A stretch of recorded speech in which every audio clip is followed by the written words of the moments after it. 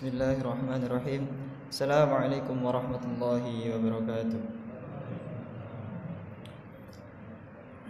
الحمد لله الحمد لله الذي بنعمته تتم الصالحات وبفضله تتنزل الخيرات وبتوفيقه تتحقق الغايات أشهد أن لا إله إلا الله وحده لا شريك له وأشهد أن محمدا عبده ورسوله لا نبي ولا رسول بعده أما بعد اللهم صل على محمد وعلى آل محمد كما صليت على إبراهيم وعلى آل إبراهيم إنك حميد مجيد الحمد لله رب العالمين para jemaah rahimakumullah pertama-tama marilah kita panjatkan puja serta puji syukur kita kehadirat Allah Subhanahu wa taala yang telah memberikan kita nikmat sehat, nikmat iman serta nikmat waktu luang sehingga kita bisa melangkahkan kaki dengan ringan dengan begitu mudahnya untuk melaksanakan menghidupkan malam-malam di bulan suci Ramadan. Semoga dengan apa yang kita upayakan, apa yang kita kerjakan senantiasa menjadi pemberat amal kebaikan di sisi Allah Subhanahu wa taala.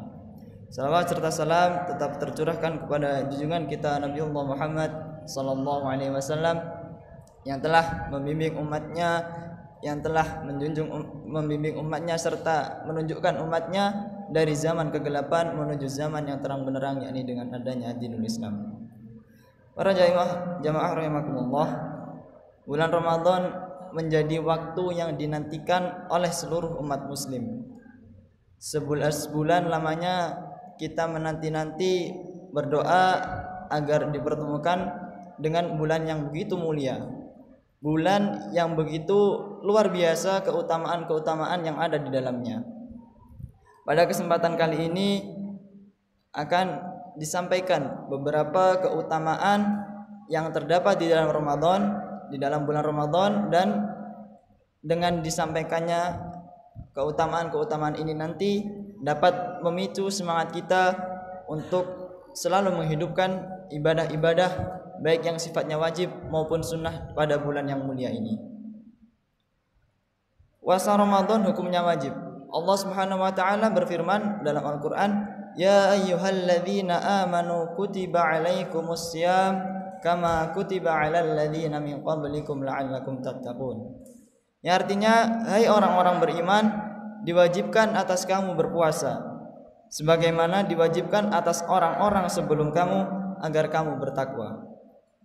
Dari Talha bin Ubaidillah radhiyallahu anhu bahwa seseorang datang kepada Nabi Shallallahu alaihi wasallam dan bertanya, "Ya Rasulullah, katakanlah kepadaku, apa yang Allah wajibkan padaku tentang puasa?" Beliau menjawab, "Puasa Ramadan." Apakah ada lagi selain itu? Beliau menjawab, "Tidak, kecuali puasa sunnah." Hadis riwayat Bukhari dan Muslim. Berikut keutamaan-keutamaan yang terdapat di dalam Ramadan. Yang pertama yaitu penuh keberkahan.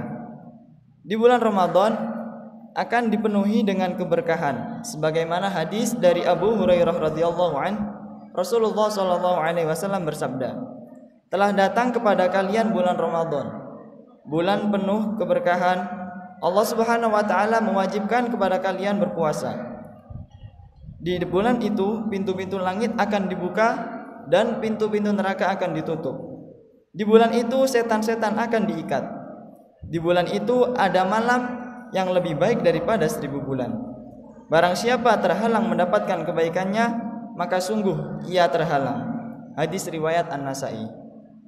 Keutamaan yang kedua yaitu diampuni dosa. Dosa-dosa yang telah lalu juga akan diampuni sebagaimana yang disebutkan dalam hadis Man shoma ramadhana imanan wa ihtisaban ghufira lahu ma taqaddama min. Siapa yang puasa di bulan Ramadan dengan keimanan dan penuh rasa senang serta pengharapan ridha Allah Subhanahu wa taala telah diampuni dosanya yang telah lalu. Dan siapa bangun malam qadar dengan iman dan ihtisab telah diampuni dosanya yang telah lalu. Hadis riwayat Bukhari Muslim. Selain itu Abu Hurairah bahwa Rasulullah SAW bersabda, salat lima waktu dari Jumat ke Jumat dan Ramadan ke Ramadan menghapus dosa seseorang di antara waktu tersebut selama ia menjauhi dosa-dosa besar. Hadis riwayat Muslim. Kemudian keutamaan yang ketiga yaitu pahala yang dilipat gandakan. Ibadah yang dilakukan oleh setiap muslim yang berpuasa akan dilipat gandakan. Setiap amalan kebaikan yang dilakukan oleh manusia akan dilipat gandakan. Dengan 10 kebaikan yang semisal hingga 700 kali lipat. Allah Subhanahu wa taala berfirman yang artinya, kecuali amalan puasa. Amalan puasa tersebut adalah amalan untukku. Aku sendiri yang akan membalasnya disebabkan dia telah meninggalkan syahwat dan makanan karenaku. Hadis riwayat Muslim. Kemudian keutamaan yang keempat yaitu mendapatkan dua kebahagiaan.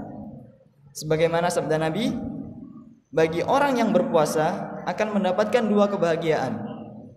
Yaitu kebahagiaan ketika dia berbuka dan kebahagiaan ketika ia berjumpa dengan Robnya. Hadis riwayat Muslim. Kemudian Keutamaan yang kelima yaitu dibukanya pintu surga. Dari Abu Hurairah radhiyallahu an bahwa Rasulullah shallallahu alaihi wasallam bersabda, "Jika telah datang bulan Ramadan, maka pintu-pintu surga akan dibuka. Pintu-pintu neraka akan ditutup dan setan-setan akan dibelenggu dengan rantai." Hadis riwayat Bukhari dan Muslim.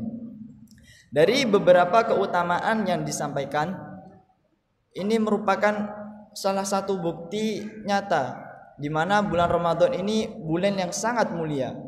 Bulan yang memang apabila kita mengerjakan suatu amalan kebaikan sekecil apa pun, maka Allah akan melipat gandakan. Maka sudah sewajibnya kita untuk melaksanakan amalan-amalan baik itu yang sifatnya wajib, sunnah, dan amalan-amalan kebaikan lainnya. Semoga dengan yang sedikit ini bisa menambah semangat kita dalam beribadah bisa menambah motivasi kita untuk senantiasa beramal kebaikan, berfastabiqul khairat serta mensyiarkan Islam yang rahmatan lil alamin. Apabila ada kurangnya mohon maaf dan apabila ada benarnya itu datangnya dari Allah Subhanahu wa taala. Aku qouli hadza fastaghfiruhu li wa lakum.